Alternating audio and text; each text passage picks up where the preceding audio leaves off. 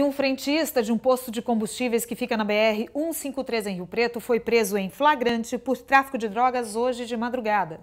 As imagens cedidas pela Polícia Militar mostram a droga apreendida. No total, foram 15 quilos de maconha. Segundo informações da polícia, uma denúncia anônima avisou que o funcionário, de 22 anos, estaria vendendo droga no local. Ele foi flagrado com o material na mochila quando chegava de moto ao posto de combustíveis.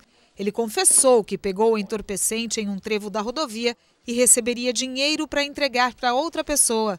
Ele foi apresentado no plantão policial de Rio Preto. Outros dois colaboradores do posto de combustíveis foram ouvidos. O caso vai ser investigado pela Polícia Civil.